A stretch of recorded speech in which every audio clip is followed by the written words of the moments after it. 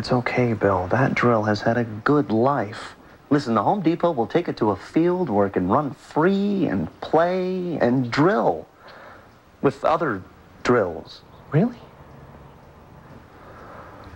It's the great tool trade-in at the Home Depot. Now through November 3rd, bring in an old power tool, working or not, and get 10% off just about any new power tool in the store. The great tool trade-in, going on now at the Home Depot.